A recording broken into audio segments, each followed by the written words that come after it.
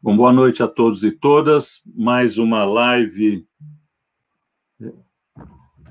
com a participação hoje da Laura Capriglione, dos Jornalistas Livres, e também do Zaratini, nosso deputado federal, com as últimas de Brasília. É, o tempo está quente, Bolsonaro continua na sua escalada de ameaças à democracia no nosso país. Esse domingo, mais um ato absurdo e a gente espera ver as reações né, das chamadas instituições, mas principalmente do povo organizado. É necessário que as reações sejam mais contundentes.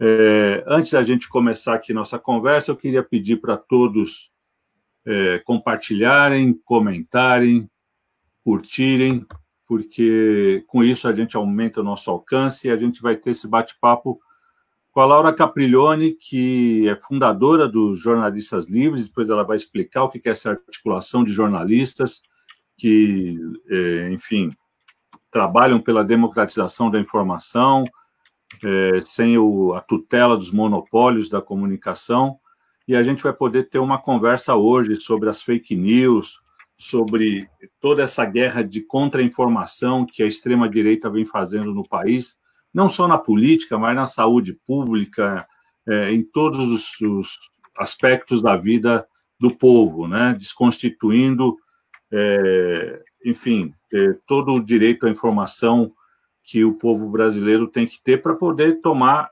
o seu livre, seu livre arbítrio suas decisões.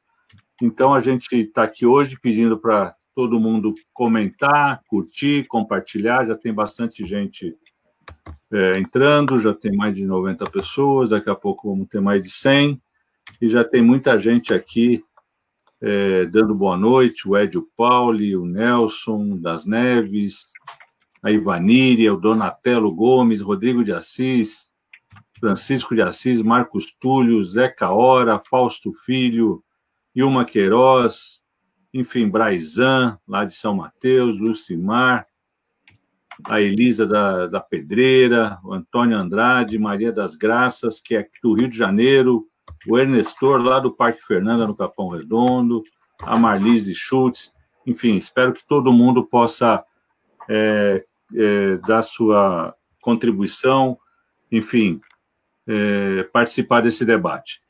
Mas vamos aqui às notícias do dia. Zaratini, como é que foi a repercussão desse ato tresloucado, mais um ato do Bolsonaro ontem em Brasília, como é que foi a, repercussão aí no Congresso Nacional e entre as lideranças do, do país, né? Então, o Garatini podia dar, dar o primeiro pontapé na nossa conversa aqui.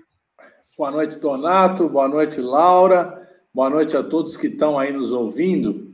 É, mais uma vez, é um prazer muito grande a gente poder participar aqui desse bate-papo, né? Promovido aí pelo Donato hoje com a participação da Laura, né, e nós estamos já com bastante gente acompanhando.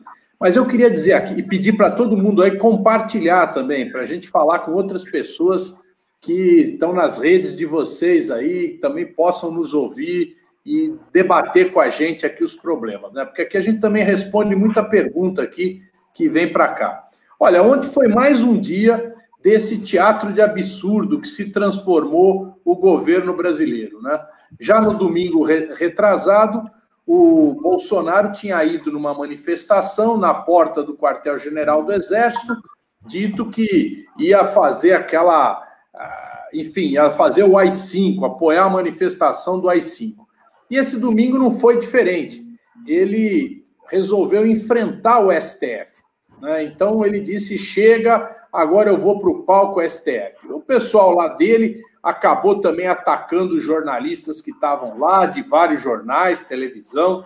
E o que está se cada dia ficando mais claro é que ele, ele vai para cima das instituições e se não houver nenhuma reação, ele vai avançando, ele vai avançando.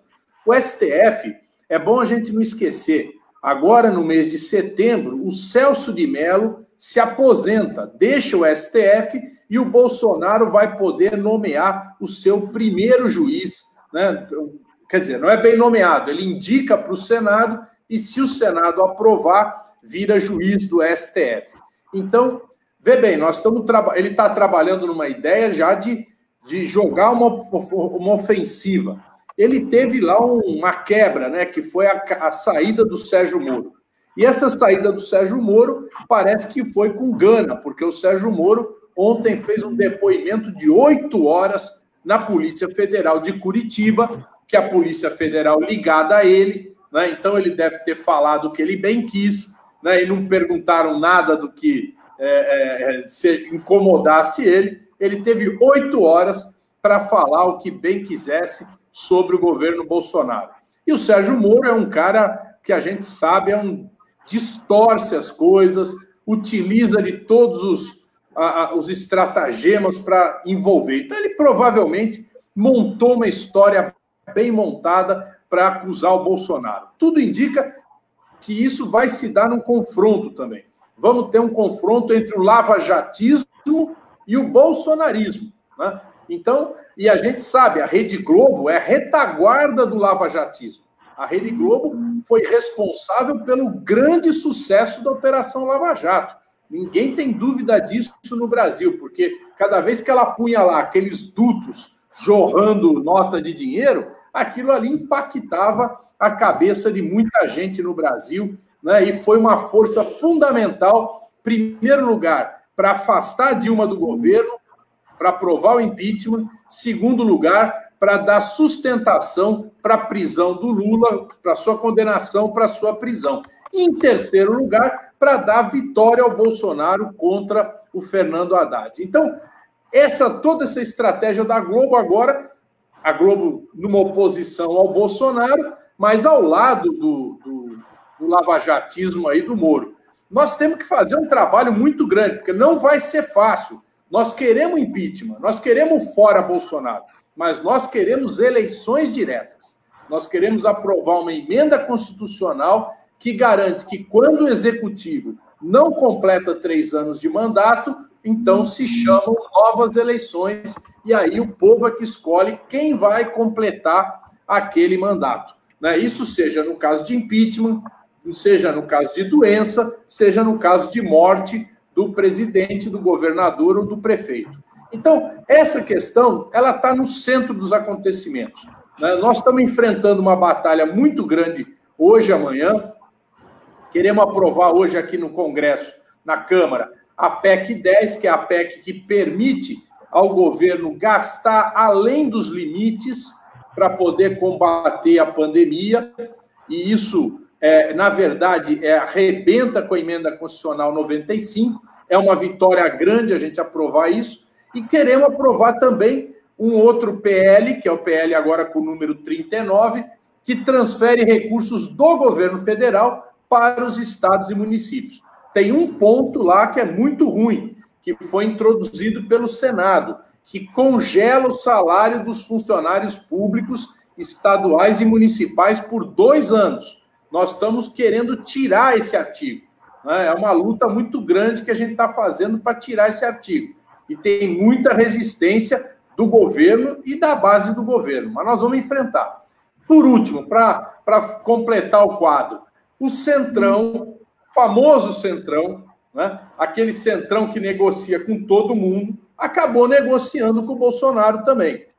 E o Bolsonaro vai ceder vários cargos, cargos assim pesados, importantes, com muito orçamento, como por exemplo o Denox, que é o Departamento Nacional de Obras contra a Seca, né, que é importante no Nordeste, a FNDE, o Fundo Nacional de Desenvolvimento da Educação, né, o cargos na área da saúde, a diretoria é, que cuida exatamente do combate à pandemia. Então, eles estão loteando cargos estratégicos para o Centrão, para o Centrão entrar no governo e dar base parlamentar para evitar o impeachment do Bolsonaro. Então a gente tem que olhar sempre o seguinte: nós não jogamos sozinho, não. O adversário também joga. O Donato entende de futebol e esse negócio de técnico de futebol que só fica botando na lousa os jogadores dele sem levar em conta os outros, só pode levar a derrota. E é por isso que nós temos que olhar o jogo do outro lado, nós temos que mostrar o que, que é o Centrão também nessa parada, né? Então é isso, Donato. O jogo hoje está pesado aqui, aqui em Brasília, não, que eu estou em São Paulo. mas está pesado nesse panorama nacional. Né? E, mas uma coisa boa que eu acho é aprovar esse PL 39. O município de São Paulo, Donato, vai receber, se for aprovado do jeito que veio do Senado, um bilhão e meio praticamente de reais. Né? É um dinheiro importante. E vai suspender o pagamento da dívida municipal, que eu não sei agora quanto está, me parece que são é, 10 bilhões por ano, uma coisa assim, né? 3 bi. Não sei agora. 3, 3 bi por ano. 3 bi? 3 bi. Então, então vai suspender esse pagamento aí. Então é isso, mestre. Estamos aí nessa, nessa batalha. Legal, Zaratini. É, bom, bastante gente aqui comentando, já estamos com quase 200 pessoas participando. Laurinha, é, fala um pouco para a gente aí. Primeiro, acho que é bom contar o que, que são os jornalistas livres, né? Acho que é importante falar um pouco dessa articulação que você participou desde o início e já engatar aí na, na, no debate da conjuntura, né? Onde foi o Dia Mundial da Liberdade de Expressão. E a gente viu lá uma massa bolsonarista pedindo intervenção militar, pedindo censura e, pedir, e agredindo jornalistas, né? Exatamente. Agredindo jornalistas, né? Então, é bem simbólico de, de, desse momento que a gente vive, né? Então, Laurinha, muito obrigado por ter aceito o nosso convite e está com a palavra aí. Bom, obrigada a você, Donato, pelo convite. É, bom, a gente é amigo desde o tempo da faculdade e, bom, é sempre uma honra estar junto com você. E com o Zaratini, que é, também é, estamos na mesma luta há tantos anos. É, bom, é, é, nós, os jornalistas livres surgiram em 2015 é, como uma forma de resistência contra as manipulações é, da grande mídia, que estava toda ela envolvida num, num, num grande esforço de é, criminalizar o Partido dos Trabalhadores, criminalizar os governos do Lula e da Dilma, criminalizar os movimentos sociais, é, enfim, só tinha notícia ruim contra o PT e contra, e contra os, o governo federal e contra o governo estadual, só tinha, era uma, e contra o governo municipal, desculpa, era uma, foi um massacre mesmo, isso que o Zaratini estava falando agora, aquele, aquela célebre cena do, daqueles dutos de esgoto soltando notas de dólares e tal, a gente, a, a gente é, foi bombardeado por essa imagem e a gente não tem noção de como isso impacta é, o inconsciente é, da população, né? A um tal ponto que, é, de fato, um monte de gente que, inclusive, tinha votado no Lula, tinha votado na Dilma, era beneficiário das políticas públicas é, do PT, é, começou a pegar e achar, bom, se está todo mundo falando, é porque roubou mesmo, né? Então, nós, nós, uma série de jornalistas com muitos anos de trabalho na grande mídia, inclusive, revoltados com essa, essa postura facciosa né, da, da grande mídia e, e, e, assim, e claramente é, tendenciosa da grande mídia, resolveram criar esse, esse, esse esse bolsão de resistência é, para contar o que é que de fato estava acontecendo no Brasil. E assim surgiram os jornalistas livres. A gente ia cobrir uma manifestação, mas, obviamente, a, a, quantidade de mentiras que eram contadas todos os dias pela grande mídia era tão avassalador que a gente continuou e estamos aqui até hoje. Isso é que é, quer dizer, nós não podemos descansar um minuto, né? Porque é, é, é, e, e, continuam as mentiras, né? Quer dizer, a gente é, é, engraçado a gente ver que, por exemplo, a, a, Globo hoje é contra o Bolsonaro. Ela é contra o Bolsonaro, mas ela existe um verdadeiro veto dentro da Globo para pegar e se ouvir o principal, a principal liderança da oposição. Quem é a principal liderança da oposição? Chama-se Luiz Inácio Lula da Silva. Só que Luiz Inácio Lula da Silva não aparece nos noticiários da Globo. Ou seja, uh, o, o, querido amigo Paulo Henrique Amorim, falecido recentemente, insistia sempre nisso. A manipulação da imprensa pode ser feita através de se contar mentiras, ou pode ser através da, de, de tornar invisível aquelas pessoas que você não quer, é, que você quer que desapareçam. E, e a Globo está fazendo exatamente isso com o presidente Lula. Né? Ela não, o Lula para a Globo não existe, ele só existe para quando existe um outro julgamento que eles acham que o Lula vai ser condenado e tal. Mas, enfim, é, o Lula só existe para ter más notícias contra o Lula.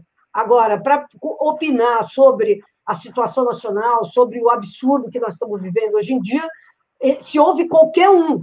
Se houve o Fernando Henrique Cardoso, que não representa nada, né? o partido dele, aliás, explodiu o, o PSDB. Mas o PT, a, a principal liderança política da, da oposição, simplesmente, que é o Lula, anunciou. Então, a gente.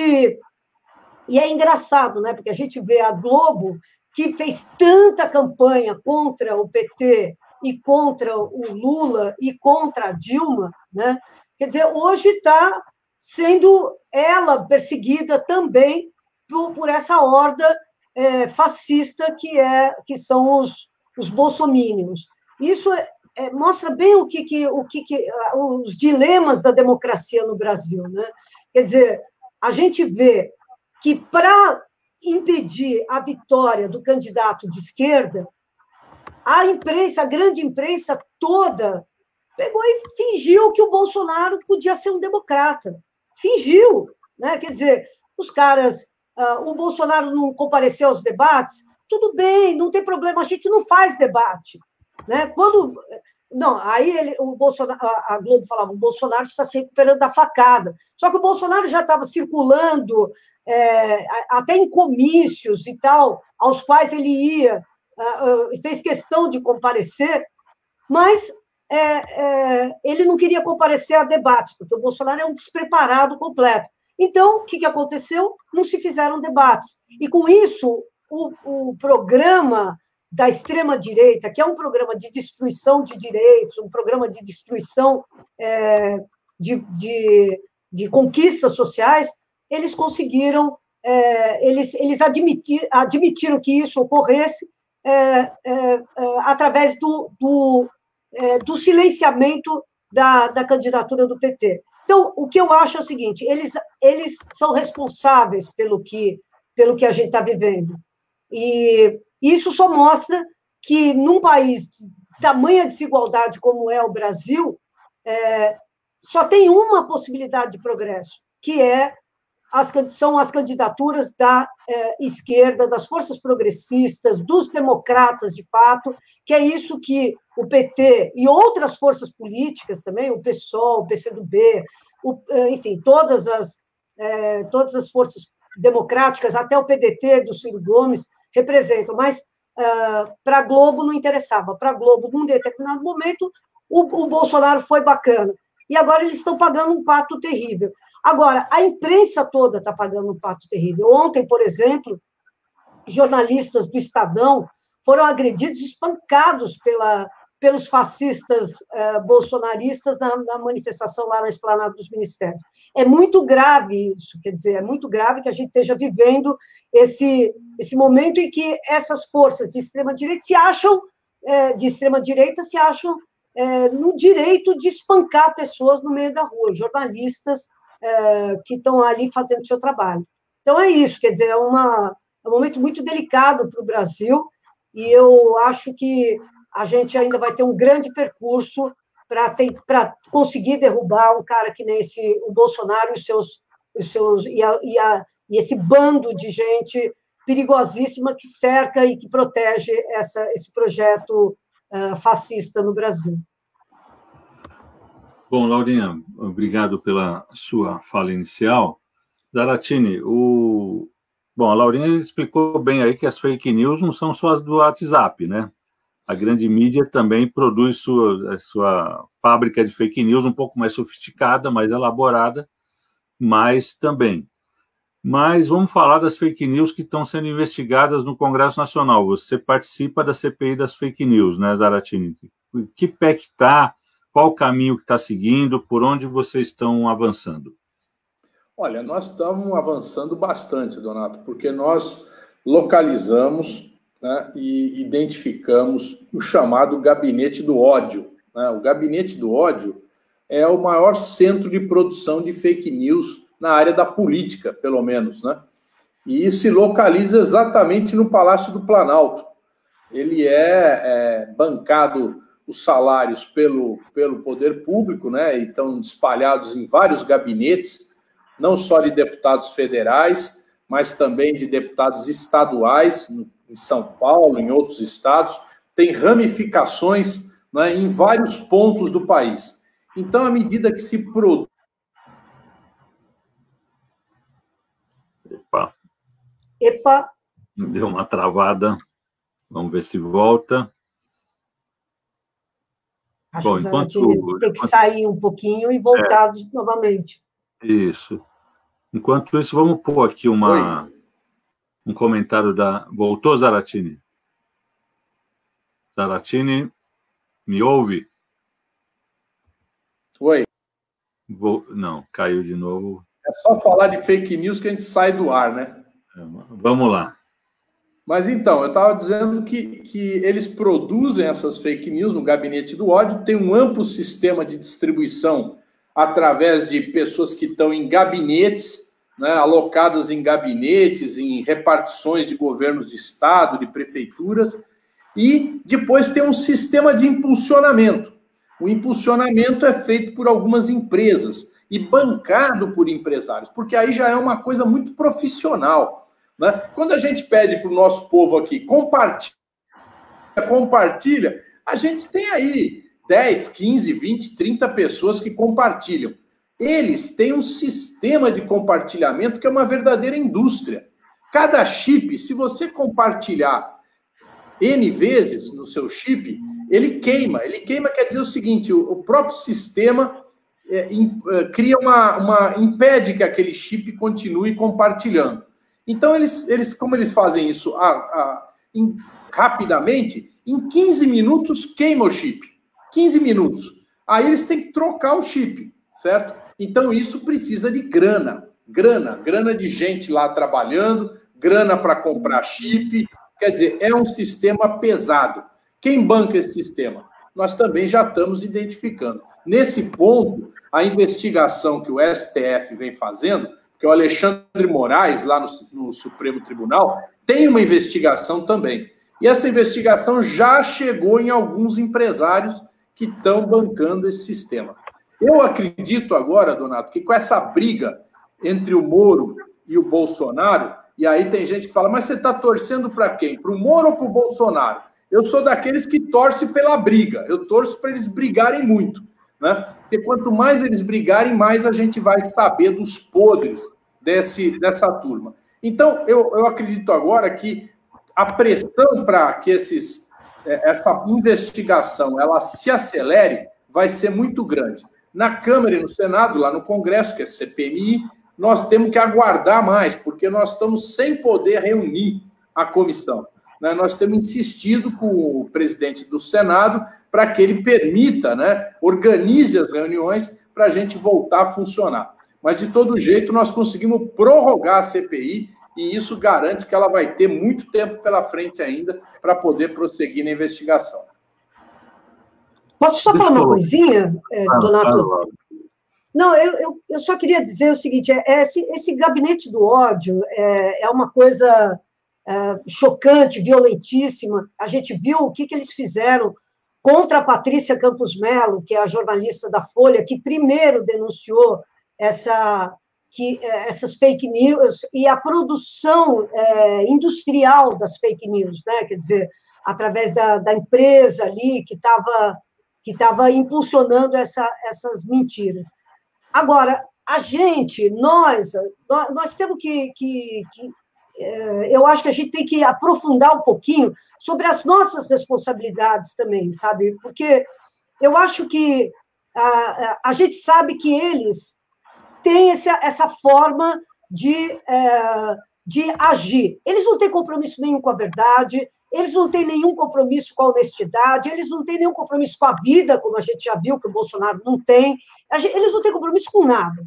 Agora, enquanto a gente estiver simplesmente olhando o que eles estão fazendo, nós vamos perder a guerra de narrativas, entendeu? Isso que eu acho que é muito importante. A gente está na hora da gente. Nós, você veja, nós estamos tendo essa conversa aqui agora. Essa conversa aqui agora está sendo disseminada pelo Facebook, pelo YouTube, pelas grandes redes. Por onde que eles, esses caras estão disseminando as fake news?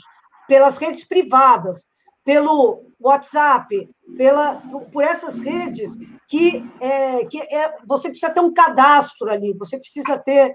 Nós precisamos organizar os nossos cadastros, entendeu? Nós precisamos organizar e interrelacionar os nossos cadastros, porque é isso que eles fizeram. O que eles fizeram é o seguinte: eles juntaram o cadastro das igrejas, das igrejas que apoiam o Bolsonaro, com os cadastros da, do, dos varejos que apoiam o Bolsonaro, com os cadastros é, enfim, de várias, várias uh, origens, e, e, eles cruzaram essas informações todas e, e começaram a disseminar suas mentiras. Nós precisamos também consolidar é, grupos para os quais a gente envia as nossas mensagens, entendeu? Porque senão a gente vai ficar sempre dependendo da Rede Globo, que não vai querer dar o nosso lado. Né? Vocês vejam que curioso. O, o, Bolso, o Moro ficou depondo mais de oito horas na Polícia Federal. Se fosse o depoimento do PT, isso aí já tinha vazado tudo no dia seguinte, ou ontem, ou ontem mesmo, entendeu? Vocês repararam que até agora está tudo meio tá tudo meio quieto?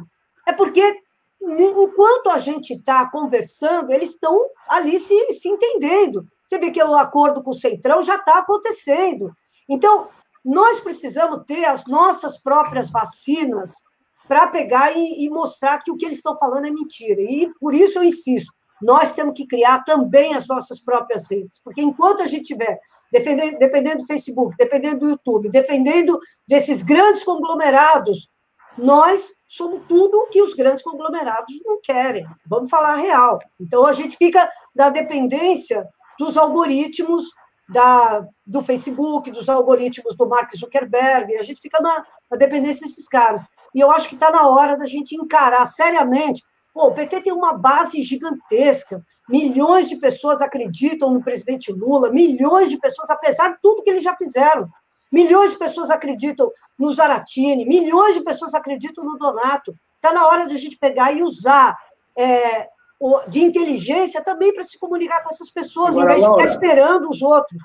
Laura, só um parênteses aí com outro assunto. Você vê, a gente está batalhando aqui para fazer uma prévia onde participam os 180 mil filiados do PT na capital. A direção do PT, ao invés de acreditar nesse potencial, como você falou, quer fazer uma prévia com 600. Né? Só um parênteses aí, para você ver que o PT ainda não acordou. O PT ainda não acordou para essa questão. Parece que está vivendo num mundo, no outro mundo, né? Hoje eu participei de uma reunião que estava o secretário de comunicação, o Gilmar Tato. A grande preocupação dele é o seguinte: olha, eu tenho que pôr o Lula no maior número de rádios do interior. Então você imagina, o Lula tendo que dar entrevista em cada uma das rádiozinhas do interior. Lógico que é bom, mas, pô, pelo amor de Deus, ele, as rádios do interior têm alcance pequeno. Né? Nós temos que fazer coisas que sejam da nossa própria condição de fazer usando a internet, que é um instrumento de comunicação. Então, é, é, são coisas que não não tá, não tá me caindo bem, viu? Não, eu concordo totalmente com o que você falou. E se, se a gente for ver, é claro que a gente não tem que pegar e fazer as mesmas coisas que os bolsonaristas fizeram, mas a gente não precisa ser trouxa de ignorar as coisas que eles fizeram. E vocês vejam, o Bolsonaro, ele, ele tinha uma rede gigantesca, não era o Bolsonaro falando o tempo inteiro na, nas lives deles. Era, tinha o cara que falava da mamadeira de piroca de um, de, um, de, um, de um lado, o outro falava do kit gay do outro, o outro falava da indústria do aborto do outro, o outro falava. Pô, nós temos milhões de brasileiros que estão nesse momento enfrentando a pandemia, é, o pessoal da saúde pública, o pessoal da saúde pública não se referencia no Bolsonaro, se referencia em quem? Em quem sempre defendeu o SUS, que é quem? Que é o PT. Essas pessoas, por exemplo, se hoje tivessem incluídas numa grande rede de proteção e de autodefesa da população, porque eles já estão participando da, do embate real, mas se tivessem ajudando as pessoas hoje a, a, a se proteger, a disseminar informações boas pelas redes. Da, da... Lembra que eles tinham a rede dos caminhoneiros? Lembra? Por que, que a gente não tem hoje já uma grande rede dos profissionais de saúde é, ligados à defesa do SUS, falando, passando dicas para as pessoas sobre como se proteger? A gente devia estar organizando isso. Em vez de o Lula falar o tempo inteiro, tem que, tem que falar as pessoas que compartilham os valores que nós representamos, que são os valores da solidariedade, do amor, da, da compaixão e, acima de tudo, de, de, de, das saídas coletivas, né? que, é o que é o que nos diferencia deles. Né? Exatamente. Deixa eu colocar alguns comentários aqui. A Felícia Moraes, lá do Jardim Remberg, no Grajaú. Eu não consigo entender esse verme miliciano. Faz o que quer, onde quer, desrespeita todo mundo. E o que as instituições fazem? Milhares de notas de repúdio. Não aguento mais nota de repúdio. Esse cara tem que ser barrado para ontem. Seja impeachmentado, seja afastado, seja algemado ou interditado numa camisa de força. Basta dessa família no poder. Isso aí é a Felícia. Tem outros comentários aqui, deixa eu ver. Concordo total, Felícia. Esse negócio de nota de repúdio já encheu, já deu, né? Vamos ficar fazendo nota de repúdio até quando? É, nós o Everton um momento, viu? O momento é que o difícil, o que, que é? Primeiro, nós não podemos sair para a rua, né? então temos essa dificuldade. Segundo, nós não temos ainda uma maioria no Congresso Nacional disposta a afastar o Bolsonaro. Então nós temos que construir essa articulação. É um processo, não é uma coisa assim que a gente vai de um dia para o outro viabilizar. Só para a gente lembrar, o Collor ficou três anos no governo. Ele só foi afastado no terceiro ano, mesmo depois que ele sequestrou o dinheiro de todo mundo, né? Que ele fez logo no início. Depois ele ficou três anos no governo. A própria Dilma, nós resistimos dois anos para eles tirarem a Dilma. Não foi bolinho também. Então, é, o impeachment, a gente quer que seja rápido. É bom, a gente tem que trabalhar para ser rápido mesmo. Mas é um processo. A gente tem que conquistar a maioria. Né? E para isso a gente precisa trabalhar muito, discutir muito, debater muito e mostrar para as pessoas quem é o criminoso desse governo, que é o Bolsonaro e o governo inteiro. Nós temos que tirar todo mundo de lá. Porque não é o Mourão, não, porque também tem cara que quer tirar o Bolsonaro, como o próprio Moro. O Moro quer tirar o Bolsonaro para ficar quem? O Mourão. Para ele, Moro, voltar para o governo e voltar numa posição mais forte. Né? Então, para nós, não é o Mourão que é a solução, nós queremos eleições. Exatamente. Então, aqui, o Everton Delício. Aqui em São Paulo, a eleição municipal pela esquerda é muito provável que o PSOL, PDT, PSB lance candidaturas próprias. Essa fragmentação do campo progressista não vai fortalecer os candidatos do campo político oposto ao nosso? abraço a todos os companheiros. Então, Everton Delício, falando um pouco da eleição municipal. Deixa eu ver se tem mais alguma um comentário aqui. Ah, responde aí você, Donato. Você que está o nosso líder aqui na municipal, fala um pouco aí da eleição de São Paulo, porque acho que a eleição de São Paulo é uma das eleições mais é a eleição mais importante do Brasil e vai ser importantíssimo derrotar o Bolsonaro, não só o os tucanos, mas o próprio Bolsonaro, né? Não, também acho. Acho isso é é meio o, o senso comum, né? A eleição de São Paulo, maior cidade do país, a mais importante, e ela vai ter um caráter que tem que ter um caráter nacional também na disputa. Mas, infelizmente, o PT tem patinado muito, né? Primeiro no seu processo interno de debate, porque a primeira coisa que o PT tem que fazer é construir uma unidade, unidade interna. Isso só se constrói envolvendo a massa de filiados que o PT tem. Não vai se construir num acordo, num arranjo de meia dúzia. Isso não existe.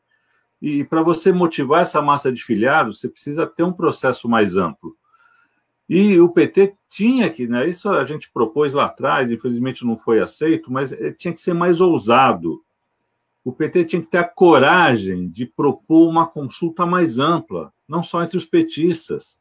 É, você é possível você fazer consultas mais amplas entre aqueles que defendem um programa mínimo. Lista cinco pontos, você concorda, você pode participar dessa consulta. Seria a forma de a gente dialogar e construir uma frente de esquerda de verdade, né? não como um arranjo eleitoral, porque como arranjo eleitoral, cada um tem seu interesse, e cada um vai raciocinar a partir do seu interesse de crescimento, só que essa conjuntura exige uma outra postura, e é, a responsabilidade maior é do maior partido, é o PT. E a gente, ao contrário disso, se volta para dentro, se fecha, se trabalha para ter uma candidatura estreita. Então, é, infelizmente, a situação não é boa na cidade de São Paulo. A gente, a gente batalha até o último momento para romper isso, para que a gente tenha uma outra dinâmica, mas, infelizmente, tem uma, uma maioria tanto a nível municipal, estadual e nacional, que, que tem uma outra visão do processo, né? uma visão de controle, controle da burocracia sobre o processo. E isso aí não vai levar a gente a lugar nenhum, vai levar à fragmentação, primeiro, da esquerda, porque é o PT que teria a responsabilidade de juntar, e isso vai levar a facilitar, e a, e a, a tragédia maior, é ter um segundo turno, eventualmente, da extrema-direita com a centro-direita. Um segundo turno que possa ser o russomano, já que o, o, o republicano, que é o partido da Igreja Universal, se aproximou muito do Bolsonaro, os filhos do Bolsonaro no Rio se filiaram no Republicanos. O russomano é, um, é alguém que já tem prestígio em setores populares, tem uma imagem, e ele já está dando seus sinais de que vai se aliar a essa política do, do Bolsonaro. Então você pode ter ele e ter a centro-direita, que é o Bruno Covas, que é mais educado, mas a política, do ponto de vista econômico e social, é exatamente a mesma política, né? de retirada de direitos, de privatização, a mesma política do Paulo Guedes. Então, vai ser uma tragédia para a cidade de São Paulo se a gente chegar a esse segundo turno. E o PT não pode ser consumido por esse internismo, por essa coisa autofágica, e não conseguir enxergar de maneira mais ampla essa conjuntura, mas infelizmente a gente tem batalhado muito, tem colocado esse debate, mas não tem tido muito eco, infelizmente. Então, o Everton disse, essa fragmentação é possível que ocorra, isso vai facilitar o serviço do outro lado e, e vai ser bom desde 85, desde quando a gente tem eleição é, municipal em São Paulo, né? Desde 85 o Suplicy ficou em terceiro, mas desde 88 o PT é o primeiro ou é o segundo colocado. Ou seja, nós somos um dos elementos é, certos no, na, na disputa. E dessa vez a gente pode estar jogando isso fora de maneira absurda. Não, é surreal mesmo, né, Donato? Comentar isso. Meu, eu, eu, eu, eu, eu posso falar, eu, eu estou claro. falando. Ah, eu, eu é não, você que eu, tem que falar aqui hoje. Não, gente, eu não sou assim uma. uma, uma eu, apesar de eu ter ajudado a fundar o PT, eu não tenho uma vida assim dentro do partido, mas é, para mim é chocante ver isso. Essa, é, é chocante ver essa, essa praticamente essa, essa essa rendição do PT a esse quadro que o Donato está tá, tá mencionando, que de fato é um quadro trágico, né? A gente ter a possibilidade de ter entre a isso se a gente não tiver da ultradireita para a direita mesmo, né? Porque a gente ainda pode ter a surpresa de ter outras outras candidaturas aventureiras do lado da, da, da direita também. Então, eu, eu acho incrível, porque a impressão que dá é que o partido desistiu de, de existir e de ter um protagonismo nas próximas eleições, né? Quer dizer, o partido está tá, tá assim, olha, vamos pegar e vamos deixar meia dúzia de pessoas escolherem o próximo candidato. E essa meia dúzia de pessoas vão representar o que exatamente? Né? Quer dizer, vão representar a quebrada, vão representar os bairros, vão representar os territórios, vão representar. Não vão, entendeu? Vão representar única e exclusivamente a burocracia partidária. Então, eu acho uma pena que o PT, é, em nome da, dessa preservação da, buro, da burocracia, é, se condene de, dessa maneira a, a, a, a, a virar uma, uma peça a mais. Eu, eu lembro, viu, Donato, o que aconteceu com o PT do Rio de Janeiro. O PT do Rio de Janeiro era uma potência, a gente lembra disso, era uma potência o PT do Rio de Janeiro. Tinha liderança, tinha não sei o que lá, tinha. E hoje em dia o PT é uma força absolutamente coadjuvante no Rio de Janeiro. Né? É, e sem expectativa de retomar qualquer tipo de protagonismo. Né? No Rio de Janeiro, o PT virou uma forcinha menor. Então, eu acho que, a, a continuar dessa maneira, nós vamos, o PT vai virar uma força minúscula, insignificante, e, e, e isso, isso não é um problema para o PT, isso é um problema para o povo pobre da cidade de São Paulo, porque todas as políticas que beneficiaram o povo pobre sempre vieram do Partido dos Trabalhadores, de, de corredor de ônibus até, até as, o, o sistema de saúde. Deixa eu só, antes de passar para o Zaratini, tem uma mensagem que eu não posso deixar de ler. Olá, antes de mais nada, peço desculpas pelo meu português rudimentar. Meu nome é Pablo Crucê, estou escrevendo para você de Buenos Aires. Não acredito na situação que os irmãos brasileiros têm que viver. Acho difícil acreditar que uma pessoa como Bolsonaro seja presidente. Eu lhe envio um abraço à distância e muita força América Latina Unida. Muito obrigado, Pablo. Realmente é um pesadelo que a gente está passando aqui. Mas, enfim, nós estamos no meio desse pesadelo e temos que lutar para que ele acabe o quanto antes, né, Zaratini? É isso, Donato. Eu quero também agradecer esse companheiro lá de Buenos Aires, mas também agradecer que tem muitos bolsonaristas, muitos não, uns três ou quatro, que estão aqui acompanhando nossa live e que fazem uns comentários aí. É ótimo, façam mesmo, porque cada vez que vocês comentam na nossa live, vocês espalham para a rede de vocês e quem sabe mais gente veja também e acaba entendendo quais são os problemas do Brasil, né? Então é isso. Laura, eu acho que você podia fazer um pouco de propaganda dos jornalistas livres aqui, para as pessoas conhecerem. Tem muita gente que não conhece ainda o trabalho que vocês fazem, né? Fala um pouquinho. Olha, os jornalistas livres, eu acho que a coisa mais legal que os jornalistas livres têm é o seguinte: é a ideia de que qualquer um pode ser jornalista. E nós acreditamos muito nisso. Nós acreditamos que é, o cara pode não escrever perfeitamente, mas ele sabe contar uma história.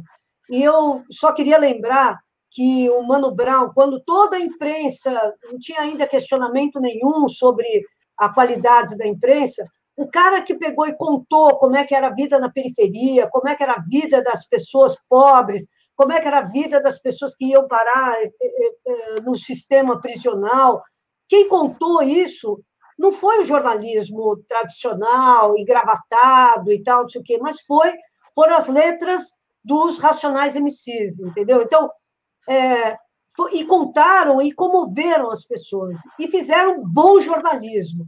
Então, a nossa ideia é que o povo que está nas quebradas, que o povo que está no, nos, nos territórios, é, mesmo que sejam distantes do centro, tem todas as condições para fazer isso. Antes, a gente, para ser jornalista, precisava ter, ter uma, uma redação, precisava ter uma gráfica, precisava. Hoje a gente pode fazer jornalismo se conectando na internet, como nós estamos fazendo aqui agora. Então, por favor, se vocês virem situações é, que sejam uh, de, de, de discriminação, de racismo, de falta de atendimento de uma pessoa numa, num, num, equipamento público de saúde, se vocês virem situações de injustiça e tal, é, a ideia é que vocês registrem isso e mandem para a gente. É disso que vive os jornalistas, que vivem os jornalistas livres. E é com isso que a gente tenta é, mostrar algo que a grande imprensa não consegue mostrar. Ela não, não consegue e nem quer. Né? Eu, eu queria lembrar que outro dia, outro dia, infelizmente, teve um massacre em Paraisópolis, é, que vocês viram as cenas até na, na televisão, é, mas é, aquela, aquela situação é uma situação comum, né? a polícia barbarizando nos bailes, barbarizando e humilhando a, a, a população nos bailes, é, da, da, nos bailes funk e tal. É, a gente não precisava, a gente poderia já ter mostrado isso antes, né? Quer dizer, e mostrado, e porque mostrando, a gente, é, a gente também é, faz com que a polícia tome cuidado, que a polícia, a polícia tudo que ela não precisa, é, é, o que ela mais tem medo é desse tipo de denúncia. Então, os nossos canais estão abertos para todo mundo que queira enviar para a gente é, informações sobre o que está acontecendo no seu local de trabalho. Por exemplo, olha, é incrível a humilhação que os motoboys é, passaram durante um tempão pedindo, é, pedindo álcool gel, pedindo máscara para as empresas, para os aplicativos e tal, até que eles puderem, que eles recebessem esse material. Nós ajudamos a divulgar essa denúncia dos motoboys que estavam sem equipamento nenhum de proteção, e aí eles começaram a receber. Então, é, é, é importante que cada um, vendo uma situação de justiça, mande para a gente. Nós estamos completamente à disposição, e o nosso e-mail para contato é, é, é o jor, é, jornalistaslivres.gmail.com. Qualquer pessoa pode mandar para a gente e a gente vai ter o maior prazer em publicar. É isso, Zaratini. A gente, a gente gosta muito dessa ideia de fazer um jornalismo ancorado nas periferias e ancorado nas pessoas que sofrem. Legal, Laura. E aqui na nossa rede, Laura, tem muito militante aqui da periferia, viu? Muita Exatamente. gente boa aí que está toda hora vendo problema aí e denúncias. O pessoal faz a denúncia para o Donato, o Donato briga lá, mas é bom mandar para os jornalistas livres também. Exatamente. Ter... Não tem aquele, aquela turma que chama. que a gente vai no bairro, o cara diz que vai chamar o programa de TV lá. Como é que é, Donato? O cara, Canuto, aquele programa de TV que. Não tem mais o Márcio Canuto. Então agora chama os jornalistas livres, pô. Isso Vou chamar mesmo. os jornalistas livres aqui para ver esse absurdo. Tem muita história boa para contar também, né? Além Exatamente. De... Isso mesmo. Isso que você falou, Donato, é importante. Também não é só de tragédia que vive a periferia. A periferia tem muita coisa linda, né? Tem as hortas de orgânicos, a economia solidária, tanta coisa bacana que também dá para os, os tem, sambas. Tem, tem, meninos aqui de redes de jornalistas da periferia tem no Jardim Ângelo, tem no Campo Limpo, tem todo um movimento cultural muito efervescente, os saraus, as rodas de samba, enfim, tem muita coisa acontecendo que eh, fica aqui, né? Fica nesse pedaço que é do lado de, da ponte para cá, como diz o Mano Brown, né? Exatamente. E a gente precisa que isso seja é, divulgado para todo lugar. Zaratini, para a gente encerrando aqui, eu queria te fazer uma pergunta que acho que a Claudete Alves que a nossa presidente do Sindicato da Educação Infantil colocou aqui, mas eu não estou achando mais, é, sobre a votação aí da, desse, desses recursos para os estados e municípios e sobre o artigo 8 que o Guedes colocou, que significa congelamento dos salários do funcionalismo público, acho que até 2022, né? que, que significaria uma economia de 130 bilhões para um pacote de 125, ou seja, quem está dando o dinheiro, no fundo, é o funcionalismo público, né? Então, como é que vai ser esse debate aí na Câmara? Porque no Senado foi votado assim, né? A história, né? O, o pessoal Bolsonaro e Paulo Guedes, eles queriam fazer uma compensação para os estados e municípios de 40 bilhões. Eles queriam dar uma ajuda, né? De 40 bilhões. Nós pegamos o projeto deles, melhoramos muito, né? Chegamos a coisa de reais. Né? E nós tiramos a contrapartida. A contrapartida que eles queriam era não só congelar os salários, como até mesmo reduzir salários. Então, nós retiramos isso na Câmara, a Câmara aprovou, foi para o Senado. O presidente do Senado, Davi Alcolumbre, ele se auto autonomeou relator e ele passou a negociar com o governo. Na negociação com o governo, ele reduziu o tamanho do pacote para 65 bilhões, que é melhor do que os, os 40 inicial, mas é, é menor do que o que a gente tinha aprovado na Câmara. E introduziu essa contrapartida, que é o congelamento durante dois anos de salários dos funcionários públicos. Né? Então, toda aquela evolução que o funcionário público tem, porque tem quinquênio, porque tem promoção automática, essa coisa toda, está congelado. Então, nós vamos agora na votação, talvez seja hoje mesmo essa votação, nós vamos fazer de tudo para tirar esse artigo. Agora, nós vamos votar a favor do resto do projeto, porque os estados e municípios estão enforcados. A arrecadação caiu violentamente, e se não tiver esse pacote, os próprios funcionários vão ser os primeiros a sofrer, porque vai atrasar pagamento. Né? É importante a gente dizer que tem estados, como por exemplo Minas Gerais, onde o pagamento está permanentemente atrasado. Em Rio Grande do Norte, onde a Fátima Bezerra, nossa governadora, assumiu, quando ela assumiu, tinha dois meses de atraso, o décimo terceiro sem pagar e o décimo terceiro do ano anterior, metade sem pagar. Ela colocou em dia. Só que o que está acontecendo agora? Se não tiver essa, esse dinheiro do governo federal, essa compensação, é obrigado a salário. Então, nós vamos votar favorável ao projeto e vamos tentar tirar esse artigo que determina o congelamento de salários. Não é fácil, mas nós vamos brigar para tirar. Legal, Zaratini. Vamos aqui para o encerramento. Deixa eu só colocar algumas. É...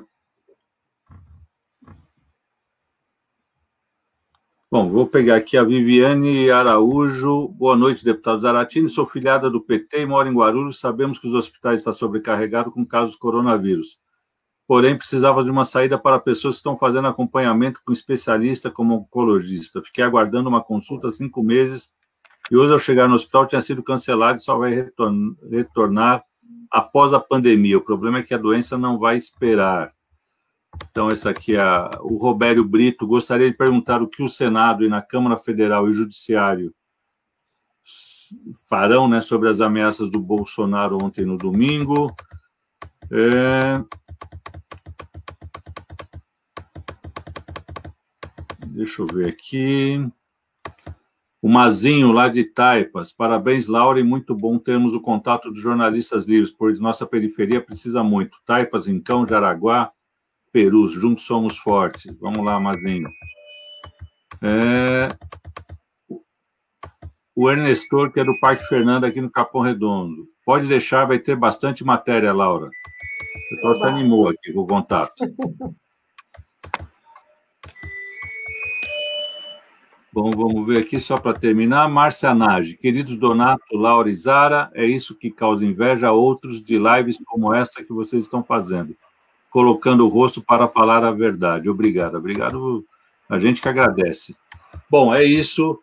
Então, com, essas, com esses comentários, eu queria pedir para a Laurinha e para o Zaratini fazerem aí o encerramento dessa nossa live, que foi um sucesso. Teve mais de 200 participantes, já estamos quase a uma hora. A conversa geralmente dura 40 minutos, já estamos aqui quase uma hora mas a gente precisa encerrar, porque o Zaratini tem outro compromisso, eu também tenho, e a Laurinha com certeza também tem.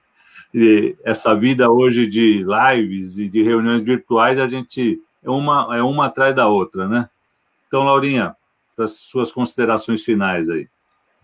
Não, eu só queria dizer que acho que a gente a gente está num momento tão, é, num certo sentido, apesar de toda a dor desse período, é um momento muito é, original, né? Quer dizer, e, num certo sentido, a gente é privilegiados por estar tá vivendo esse, esse momento, né? Quer dizer, é, tem muitos desafios humanos, é, muitos desafios para a espécie humana. Mas o que eu acho que é legal é o seguinte: é, é enquanto esses caras, esses bolson, bolsomínios, o Bolsonaro, fala em ódio, fala em, fala em, em em morte, fala, eles não têm nenhum compromisso, falam em mentiras, falam, eles, eles são um horror, um horror moral, inclusive.